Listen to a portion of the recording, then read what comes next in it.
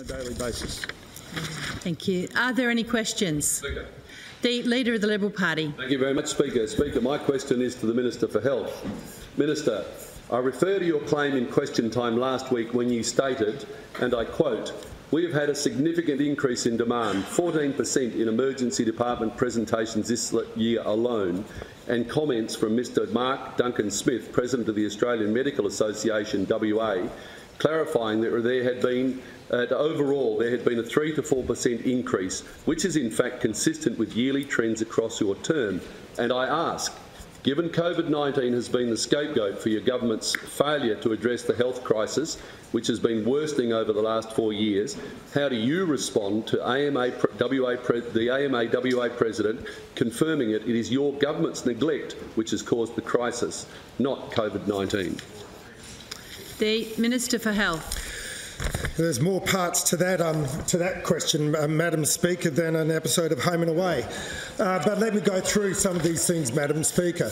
The fact of the matter is, is that every health system in this nation and internationally is struggling with a spike in demand as a result of the COVID-19 pandemic. That's your curve. Whether you like it or That's not, member. I know it doesn't fit your narrative, but that's tough. Doesn't fit the And data. you can't come into this place with your statistics to try to pretend otherwise.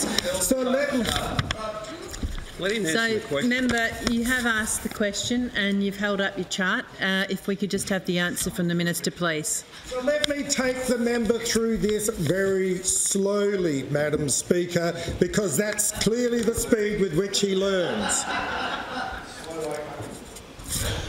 If you compare December 2020 with December 2019, we've had an increase in presentations of 11.6%. January 2021 to 2019, an increase of 10%. In March 2021 to, uh, to, to March 2019, increase of 5%, and in April, an increase also. But importantly, Madam Speaker, and I've been saying this now for weeks, weeks on end, whereas the member comes into this place with his same material, the same accusations, and we beat them off day in, day out. The fact of the matter is that triage ones between 2021 compared to three years ago is up 10%. Triage twos up 15%. These are critically ill patients. These are the people who are having the impact upon the patient flow in hospital EDs. Now, I know it's true to say that if you take the numbers globally, that is the very highest security and the very lowest. You've seen a modest uptick of around about 5%, 5, uh, 5% between 2019 and 2020, 21. But the fact of the matter remains that the people coming to our EDs are sicker, and the fact of the matter remains that the people presenting with mental health issues are more are coming coming there with more complex issues. That's led to the length of episode of care going up. That's led to the, the, the constraints which are sitting on our EDs at the moment. I notice, Madam Speaker, that the member for Vasse who um, unfortunately can't be with us during this week, and we wish her all the very best in her struggles. But clearly, on the weekends, is able to to um, make uh, several um, work-related, um, undertake several work-related activities. Where she said that between the first six months of the last six months of 2019, pre-COVID, was 80. There was 80,400 uh, average presentations per month, comparable to the first six months of 2021. There was 81,200. Well, Madam Speaker, not only has she got it wrong, the average is actually to 94, uh, 94,219, but she's comparing the first half of one year during the summer months with the second half of another year during the winter months. Now, no homework at all, Madam Speaker, no accuracy, no even pretense at prosecuting the truth in relation to this debate. But if the member wishes to stand up again, we'll explain to him again in very slow language, very slow sentences, and perhaps we'll produce some charts as well to if hopefully that once, at one point in the future he will actually get it. So Supplementary a supplementary question to Thank the Leader of the much. Opposition. Minister, given the amount of spin and selective information coming from your office, how are Western Australians supposed to trust that you can deliver the health system that they deserve? The Minister for Health. Madam Speaker, that's one of the longest supplementaries I've ever heard. Um, and had a bigger, bigger preface than, uh, than War and Peace. But, Madam Speaker, there's no spin here. We are being truthful with the people of Western Australia. We are being truthful with the people of Western Australia. That will be a great opportunity for you to learn those lessons, uh, Member for Cottesloe. Being truthful with the people of Western Australia. The fact of the matter is that our EDs are under intense pressure. Our health doctors and nurses working on the front line are working harder than ever, having come off the, the, the back of one of the most stressful periods of their careers. And that's why we're undertaking the most significant expansion of our hospital, um, uh, uh, hospital beds and our hospital workforce. But it's not easy. It's not easy, but thank goodness we've got a McGowan Labor government because at least we're dedicated to the hard work.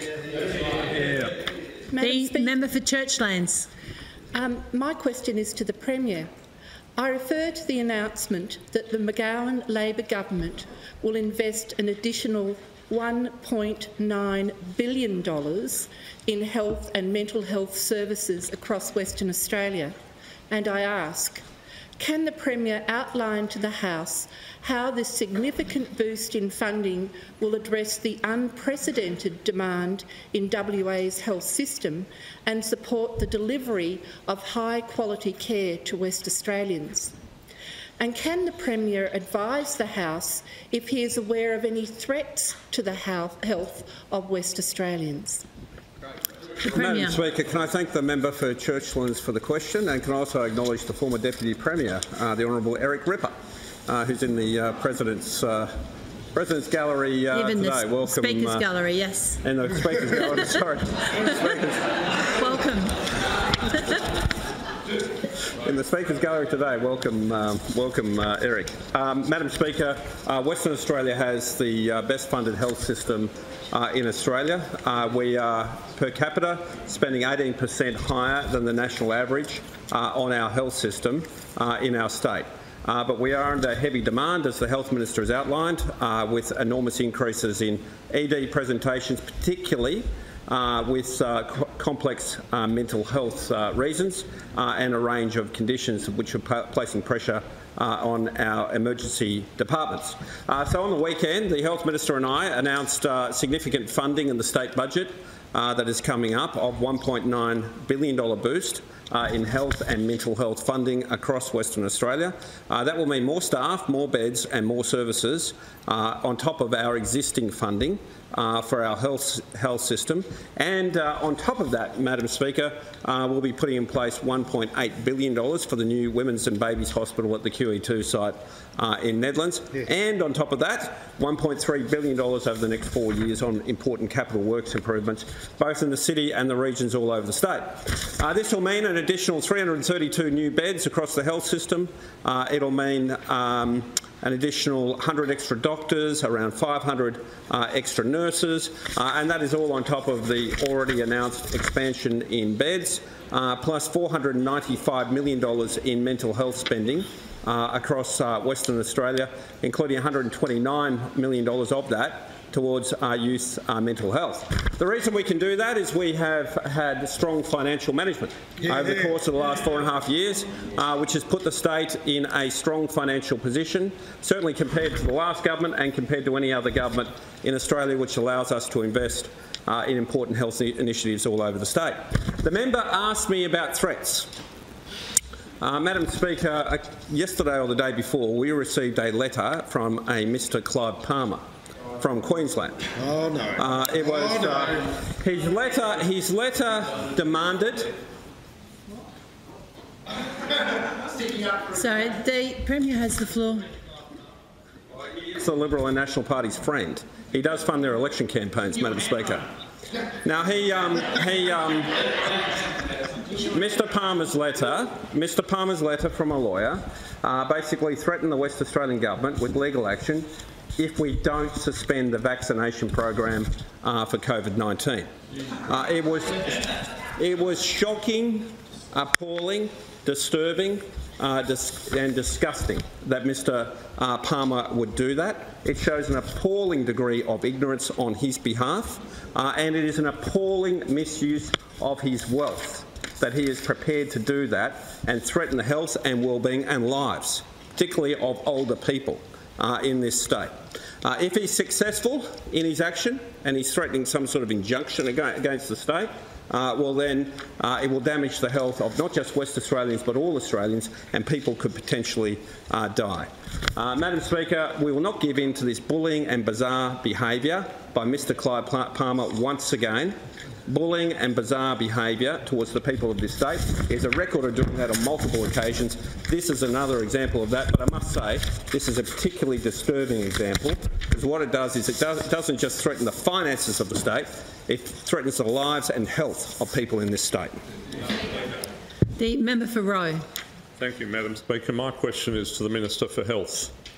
I refer to the state government's school student wellbeing study conducted by Detect WA which found around 40% of high school students are experiencing moderate to high levels of emotional distress, a threefold increase from 2014. And I ask, Minister, can you confirm that school nurses have been pulled out of WA schools to staff state-run vaccine centres, leaving schools with diminished or no nursing staff? The Minister for Health. So, on the one hand, Madam Speaker, the member would have us be concerned about the impact of COVID 19 on the mental health and well-being of our students. On the other hand, Madam Speaker, he wants us to tie our hand behind our back in terms of how we fight COVID 19. I would have thought the best way we can, we can address the concerns that young people have around COVID 19 is to get the, take the opportunity to get as many people vaccinated as possible. I'm not quite sure where you're coming from here, member. Do you want us to solve the problem or don't you? Do you want us to solve the problem or don't you? In the last election, we committed to an extra 100 uh, school psychologists, which will go a long way to equipping our schools to provide a better environment for the kids that they care, that they look after, to make sure that we can continue to uh, to uh, um, respond to the issues around mental health and well-being. And of course, as the um, as the premier has just said, uh, we've um, we've also just announced an increase of 495 million dollars in spending in the Mental Health Commission for a range of mental health uh, uh, services in our community.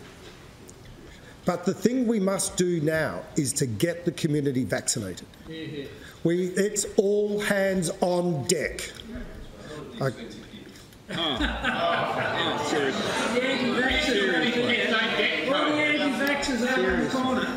Order, please. I know where you st- I know where you stand, member, on, vac- on vaccinations because we've seen it from your mate Clive Palmer. We know what your position on, on vaccinations is. It's I used to think.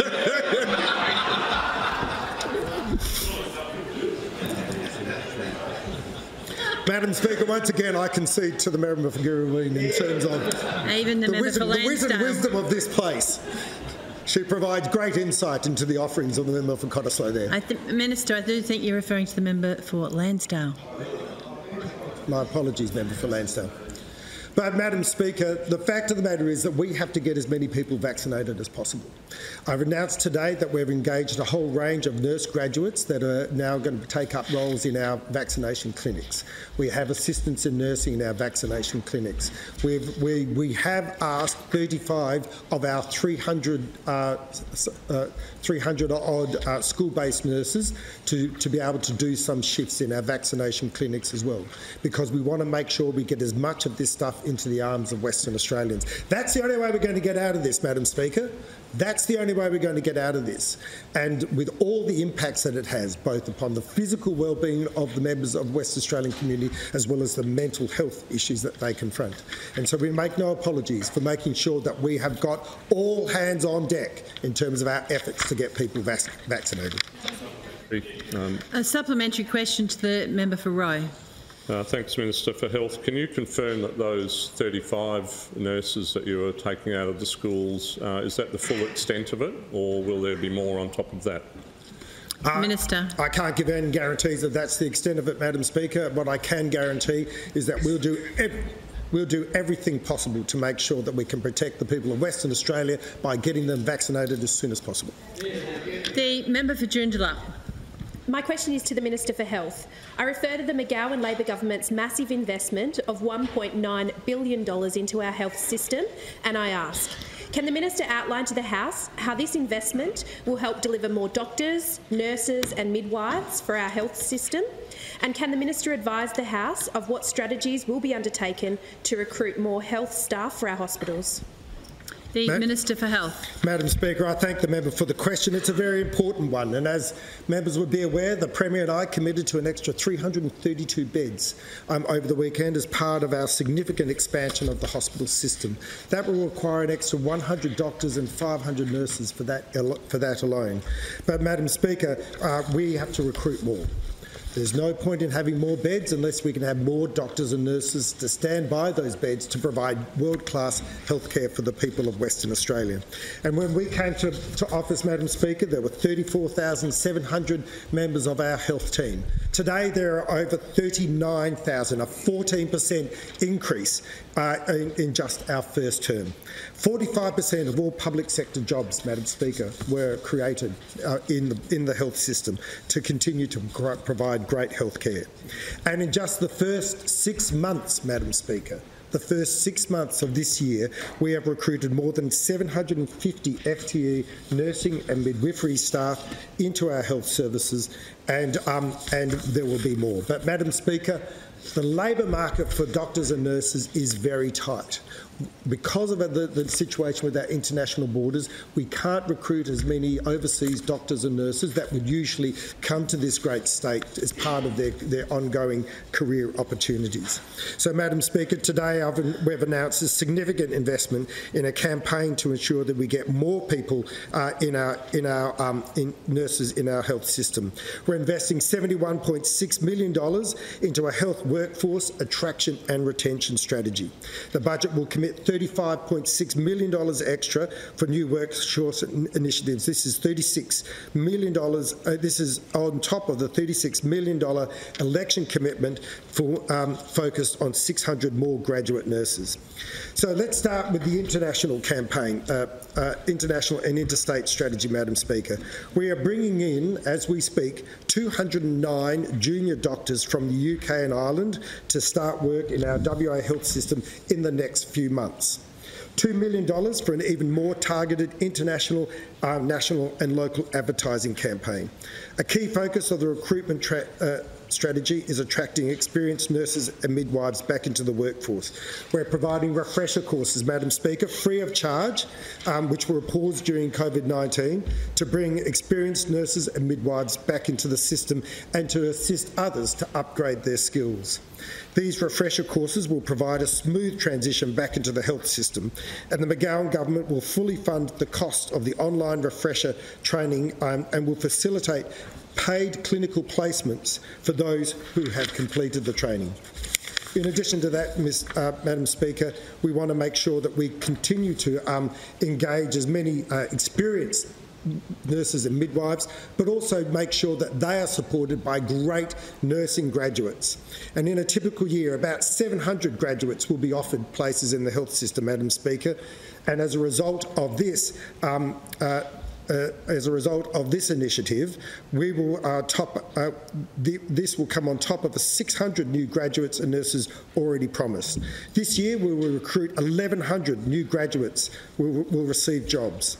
And Madam Speaker, I just want to draw your attention, Madam Speaker, because I think all members of the of the of the chamber should be concerned. It's important to, know, to understand that if you're going to go out there and make accusations of, of, of a government and their efforts to recruit, you do so in a way which is truthful with the people of, of West Australian community. So I was disturbed, Madam Speaker, to see a tweet from the member for Cottesloe recently that said that said that we were promised 1,000 new nurses and Cook delivered none. So, Madam Speaker, let me take the opportunity just to explain, again in very slow English, to the member for Cottesloe that today we have recruited 927 of those 1,100 nurse graduates already in our system today working the wards of the WA health system, providing great support to our experienced doctors and nurses. By the end of the month, that would have increased to 949. Madam Speaker, this is a tough job. The spike in demand in, re- in relation to our hospitals is putting the hospital system under great pressure. But we are bringing resources to bear and extra doctors and nurses to bear. But I, one thing I think this health system shouldn't have to bear, and that is the untruthfulness of those opposite and their tweets in the community. The Deputy Leader of the Opposition. Madam Speaker, my question today is to the Minister for Emergency Services.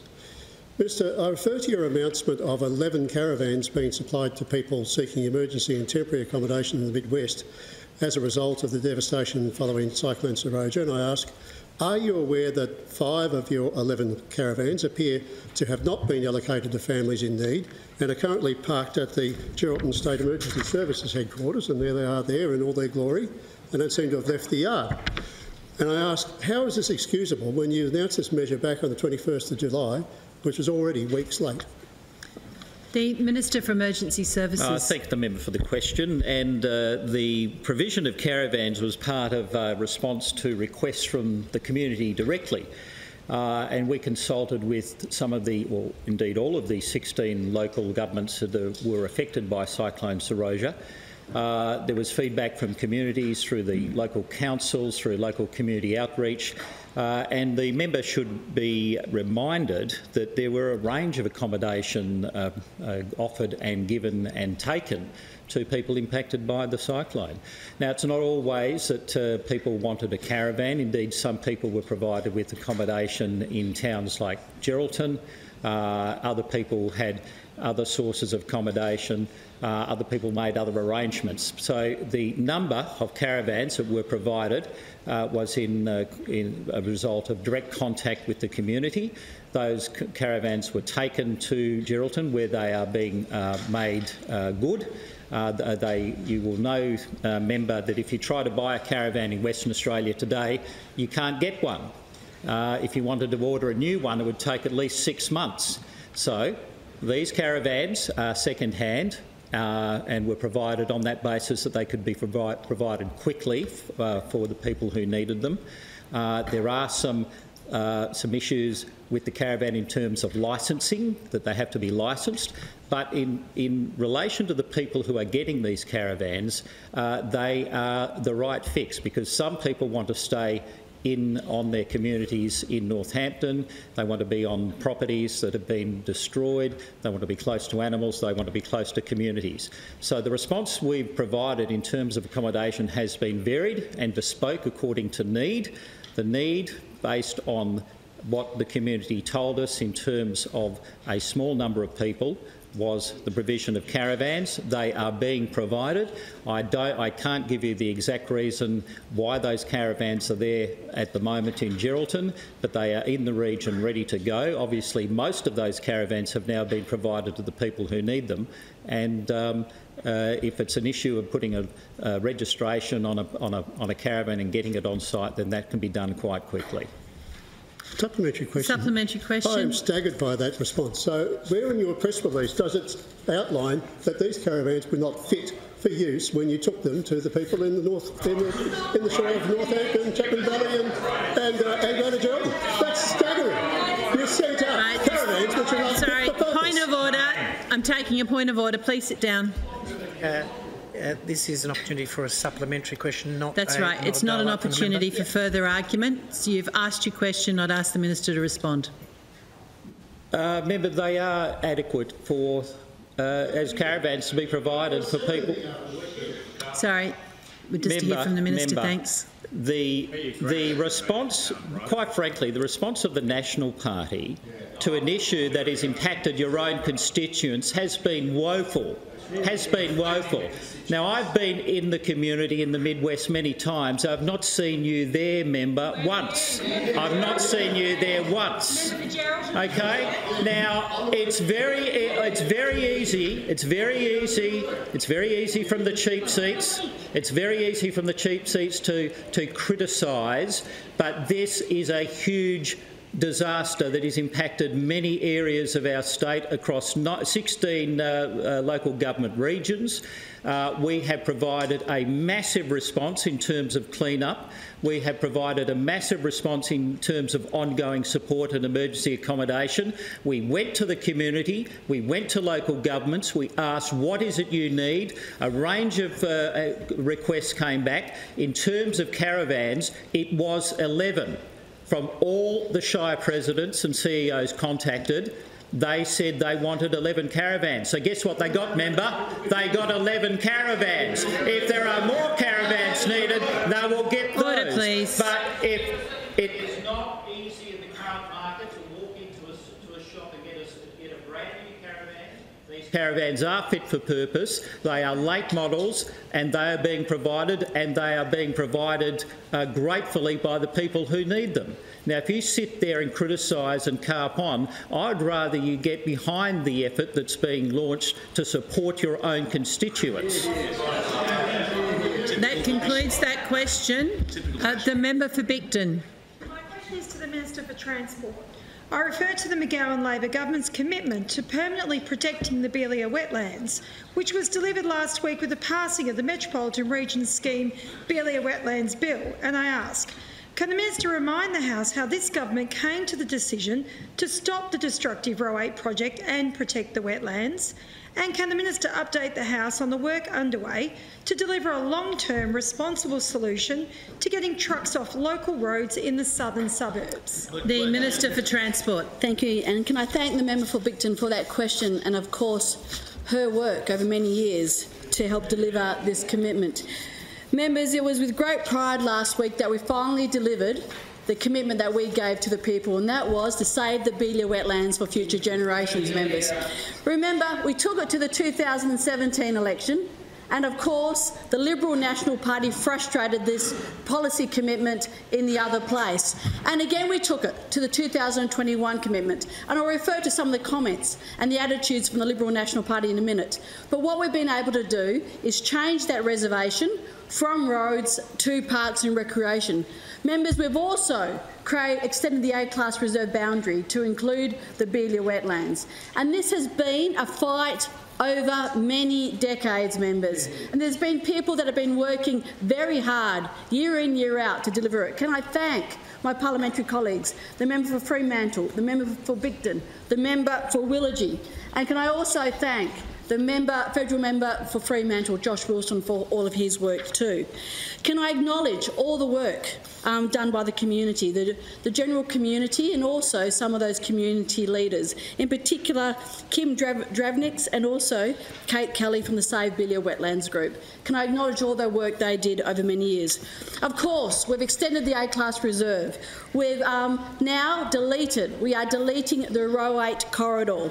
We're also, of course, um, building new infrastructure under the stewardship of the Minister for the Environment, extended boardwalks and more infrastructure so more people can actually appreciate these beautiful wetlands.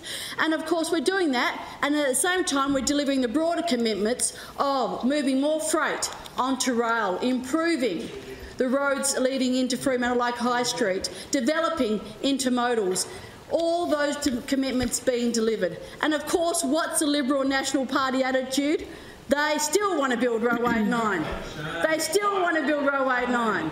And again, the National Party, you think they'd be more concerned about regional roads, but their commitment always has been on the Perth Freight Link. That's the only road project I've heard them talk about. The Liberal National Party in the other house, the Honourable Nick Goiran, and his new apprentice, I think Neil Thomson, talking about these, these projects.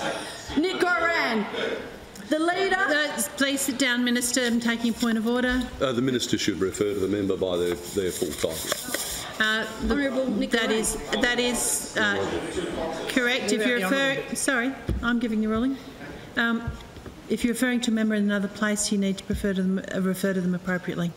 Yep. Honourable Nick Goiran, sorry about that, and the Honourable Nick, um, Neil Thomson.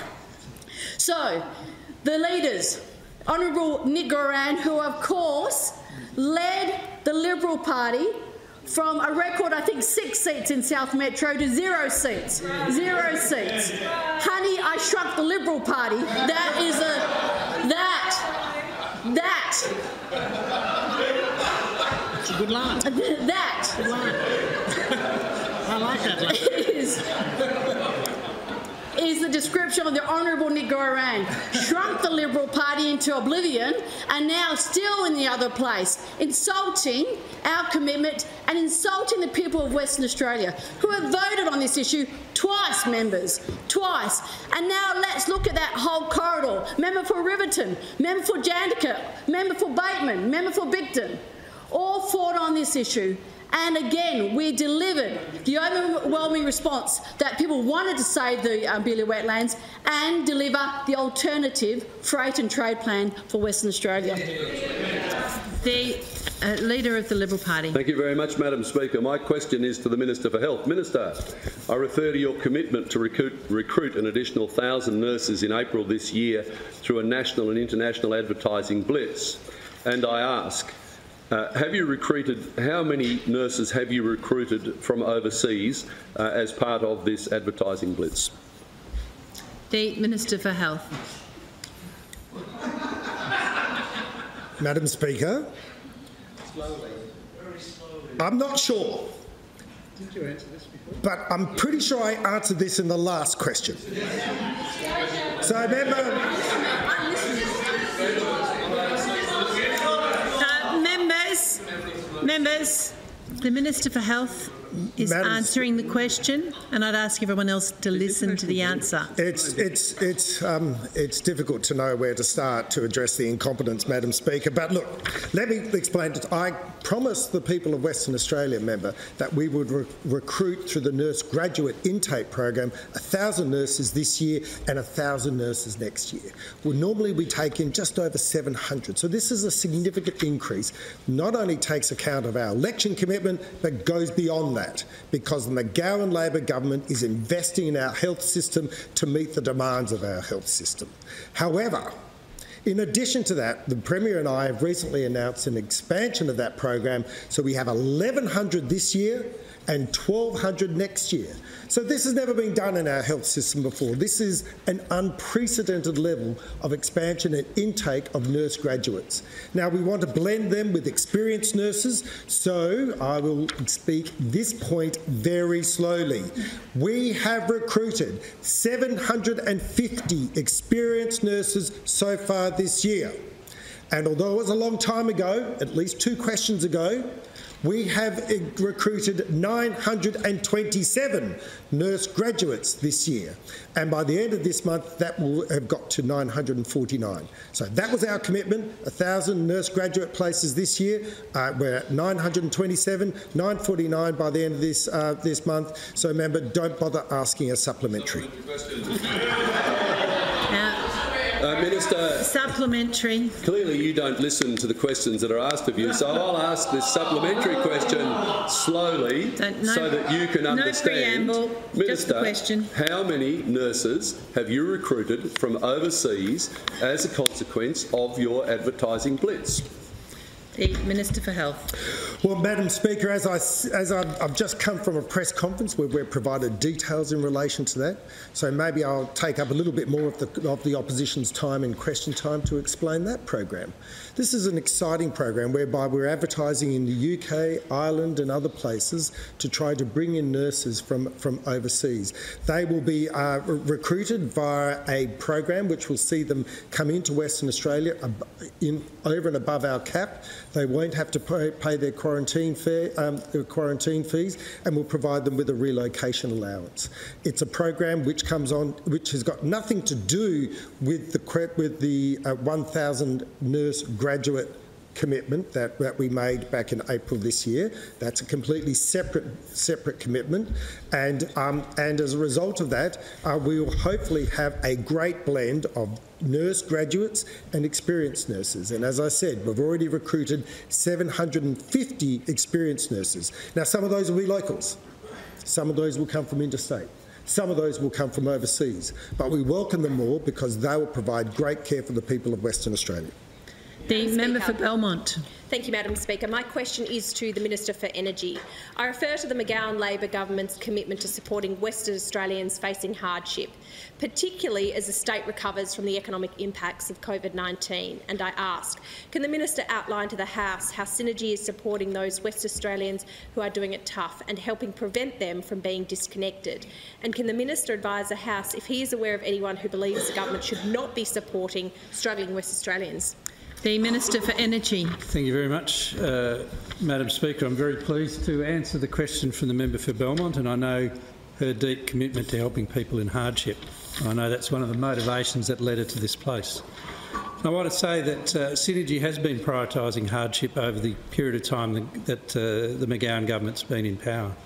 And last year we saw a range of COVID supports that helped people in hardship. But of course, we also saw the $600 uh, account offset. We saw the doubling of the energy assistance payment from $305.25, which meant that the lowest income earners in Western Australia got $1,210.50 of free electricity from the government of Western Australia during uh, uh, 2020. We've, uh, the, the, government's reformed the HUGS program so that rather than helping Synergy, it helps uh, people in need. We've introduced the Household Energy Efficiency Scheme, a scheme mirrored on a program that was run by the former Gallop and Carpenter government and abandoned by the Liberal Party when they were in power. And we're implementing the Smart Energy for Social Housing that's seen significant bill reductions for people in social housing. But Synergy continues to work hard uh, through the Keeping Connected program, which is which is in-person outreach to uh, their customers. You'll see that Synergy is now advertising, inviting customers uh, that are having trouble with their bill to speak directly to Synergy, so that rather than the first problem being getting a bill they can't handle, that they that they're actually in, inbound to Synergy to get help uh, from a range of uh, assistance that Synergy can provide. Synergy's been working with financial counsellors and they've created an online portal which is a really major reform. It allows the uh, uh, uh, financial counsellors to see exactly what's happening with the Synergy uh, billing system. It's led to the Financial Counsellors Association writing to me to congratulate Synergy on the work they're doing to work with financial counsellors to help people in hardship. We've seen the, the government uh, fund additional case managers uh, into, uh, into Synergy starting in July last year. They've got seven of the 11 dedicated managers on board already, and we're already seeing excellent results. They've worked with the 1,600 people in most hardship, and we've seen 430 of those, over a quarter of them, already graduate, graduate so that they can now support themselves without needing additional assistance. And we've also seen them focus, Synergy focus on family violence. And we know that one of the problems that many people in hardship have is that they're the victims of domestic violence and that they've been subject to coercive control and they're being left with debts. So I'm very proud of the work that Synergy is doing there to help people uh, in, in that terrible situation that are suffering from family violence. But the member asks who are not supporting this action. Well, I was very surprised on Friday to hear that the member for Cottesloe doesn't support this action. The member for Cottesloe went on radio and said it was shocking. It was shocking that the Labor government is working with Synergy to do all these things. And that he said it was shocking that we weren't sending in the debt collectors, that we weren't just taking a, a financial approach to this, that we're actually working with customers to make sure that their life can handle the situation that they're in. Because we care care for people in that situation. I don't go on radio saying it's shocking that the no debt collectors are being sent out uh, to, the, uh, to the people of this state. And it's no wonder that that's the attitude of the member for Cottesloe, because in the last time the Liberals in government, disconnections went up by 86.2 per cent. The Leader of the Opposition. Thank you, Madam Speaker. My question is to the Minister for Communities.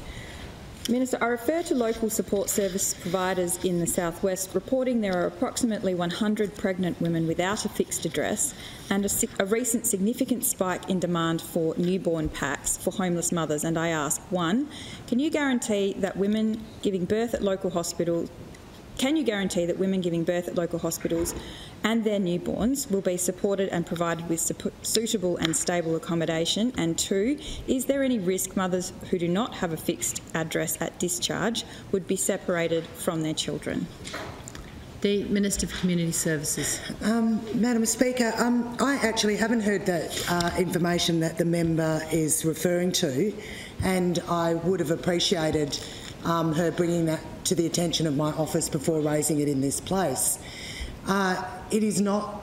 It is not my understanding ever that um, children are taken into the care of child protection um, simply because there's no accommodation available uh, for the mother. In fact, um, everything is done to make sure that uh, people who um, who need emergency accommodation are given emergency accommodation, and if there are any um, concerns about what would happen once a uh, um, someone who's facing a range of, of, difficulties, whether that's domestic violence, mental health, drug and alcohol issues, whatever they are, um, uh, housing insecurity, that those issues are dealt with before the baby's born.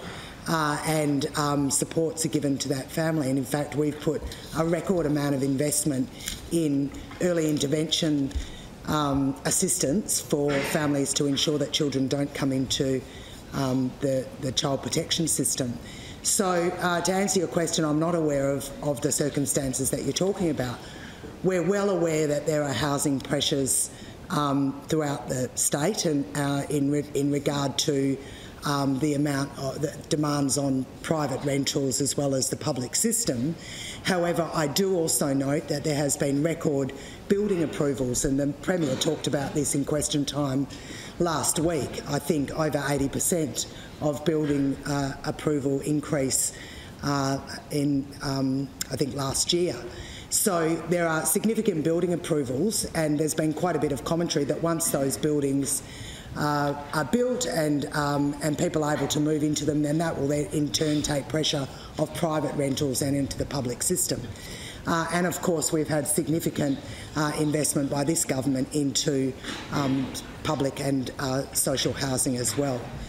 Uh, I would urge any uh, either um, individuals, families, community members, or their representatives, if they know that of people that are in that sort of hardship, to get involved with services or the Department of Communities, um, because uh, it certainly should not be the case that um, that there are, uh, are risks to keeping uh, families together because of homelessness or the threats of homelessness.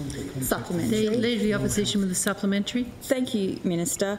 Uh, 100 women without an address is seriously concerning. Is there a specific program that government offers? Is there a is there a specific program or support service that women can uh, access given their vulnerability as they go into hospital potentially with the risk of losing their child?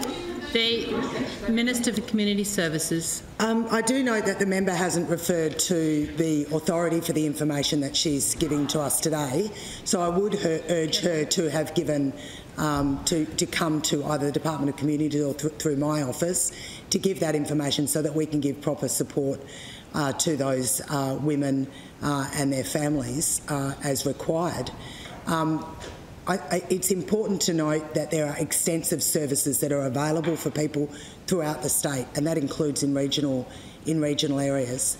Uh, whether um, those women are um, pregnant, whether they've got children or not, uh, quite a lot of work is done to ensure that there's stable accommodation and, importantly, proper supports. And in fact, with Department of Communities, we're best placed to do that now, knowing that Child Protection Services, as well as the Department of Housing, um, that gives support uh, for people who are in public housing or, or looking for public housing are, are placed together um, to give support to those uh, to those people. So, um, both through the Department of Communities and the Department of Health, I'm surprised that you talk about those numbers, and I would urge you to seek for those people to get in touch uh, with the Department of Communities district offices or for you to give me some of that detail through my office so that we can deal with those issues a bit more uh, constructively uh, than in the parliament here.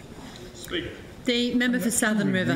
Thank you very much, Speaker. Uh, before I uh, ask my question, I'd like to acknowledge the students of Canning Vale College in the public gallery on behalf of myself and also the member for, member for Jandakot.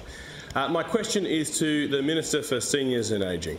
I refer to the McGowan Labor government's commitment to continuing Labor's strong record for supporting our seniors, including the introduction of the WA Seniors Card by the Dowding Labor government 33 years ago, and I ask, can the Minister update the House on how the McGowan Labor government is helping ease the financial strain on seniors card holders, particularly those who are, who are facing financial challenges as a result of COVID-19?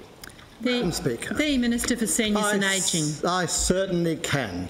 And I'd like to thank the member for Southern River for his question and also acknowledge the tireless work he does in connecting with his community and in particular bringing forward the issues that seniors face in his community. So I thank you. Now the McGowan government is a champion for seniors in Western Australia. And the WA Seniors Card program was brought into being by a great Labor minister, the Honourable Kay Hallahan, in 1988. Here, here. And it was a first, a first in program of its kind in Australia, and it was subsequently taken up right throughout Australia. And that just goes to show what a great and innovative initiative it is. The WA program provides seniors across the state with access to, on average, $650 annually in total value for state government concessions, and more if they hold a Commonwealth Seniors Health Card or Pensioner Concession Card. In July 2021, more than 312,000 West Australian Seniors Card members received the cost of living rebate, in total approximately $25.5 million. Singles will receive $93.12 and couples will receive $139.64. The WA Seniors Card program also provides members access to over 900 business discounts. Now, I know those are in great demand and they offer great savings every day, assisting seniors with the cost of living. And what's more, Madam Speaker, the McGowan government will soon be reintroducing the safety and security rebate, and that will allow WA Seniors Card members to claim up to $400 per household to go towards installing or buying home safety or security devices. Now, these, these concessions, Madam Speaker, uh, we're able to deliver those because of the strong and responsible budget management of the McGowan Labor government. And I know they're going to be very well received by our seniors community. Thank you. The Leader of the Opposition with the last question. Thank you, Madam Speaker. My question is to the Minister for Health. Minister, I refer to the State Government's Quarantine Advisory Panel and I ask, one, how many times has the Quarantine Advisory Panel met since its formation? Two, will you table the minutes of these meetings? And three, if not, why not? The Minister for Health. Madam Speaker, I don't have the answer to that. The uh, Quarantine Advisory Panel is actually formed under the Department of Premier and Cabinet. Obviously, uh, they are meeting on an ongoing basis. I've had a meeting with the Chair, so I know they are meeting and considering um, items, and um, I spoke with the Director General of Health yesterday, who I think has a meeting with them today. So if that provides you an idea of the level of, of, of activity, uh, but beyond that, Madam Speaker, I don't have any other details. Supplementary. Uh, supplementary. Thank you. Minister, can you confirm that all 16 recommendations of the Weeramanthri report, of which the formation of this panel was one, have actually been implemented?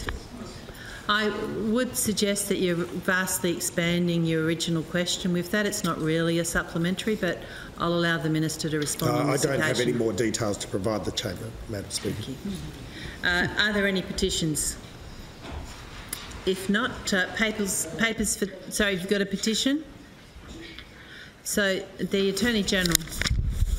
Uh, to, uh, to the Honourable Speaker and members of the Legislative Assembly of the Parliament of Western Australia assembled, we the undersigned, the LGBTQIA plus students in WA public schools are not receiving the protections to which we are entitled under law and instead suffering from a culture that enables and perpetuates homophobia, transphobia. Currently students in the LBT IQA plus community are being consistently demeaned and stigmatised by their peers through actions such as referring to particular behaviours as gay, mimicking typical gay behaviour and attitudes with the incentive to cause offence. As a direct result from this, the LGBTQIA plus students are being substantially affected with some, some of these harms being having a feeling of shame, a rise in sleep disturbance, experience of social isolation, having low self-esteem, school avoidance, a loss in mental stability and having to stay hidden in the closet. The Western Australian Equal Opportunity Act, which has the key objective to promote recognition and acceptance within the community regarding equality of all persons regardless of their sexual orientation, does not outline what is classified as intolerable student conduct.